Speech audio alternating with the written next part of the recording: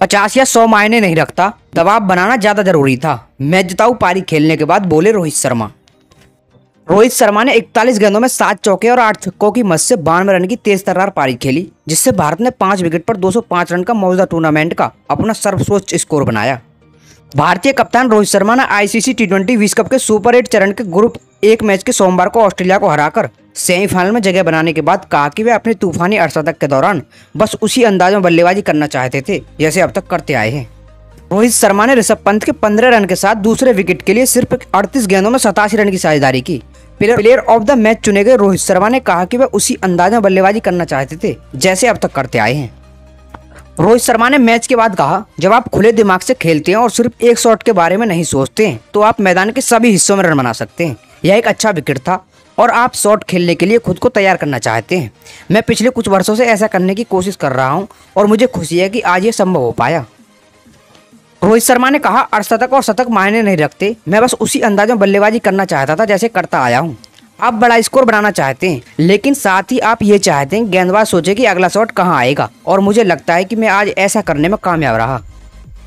तेज हवा के बीच बल्लेबाजी करने के संदर्भ में रोहित शर्मा ने कहा, मैंने पहले ओवर से ही सोचा था कि तेज हवा चल रही है।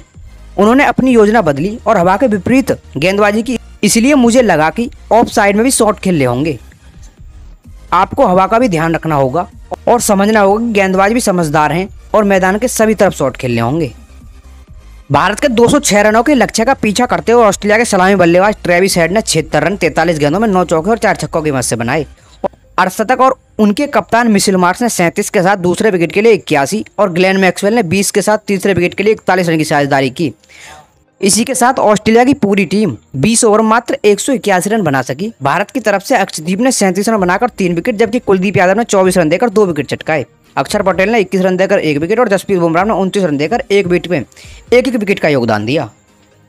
रोहित शर्मा ने कहा, यह जीत संतुष्ट करने वाली है। हम सामने वाली टीम द्वारा लाए जाने वाले खतरे को जानते हैं। एक टीम के रूप में हमने अच्छा प्रदर्शन किया, जो जो चीज़ें हमें करने की ज़रूरत थी, वह करते रहे। एक टीम के रूप में हमें अच्छा आत्मविश्वास मिलता है।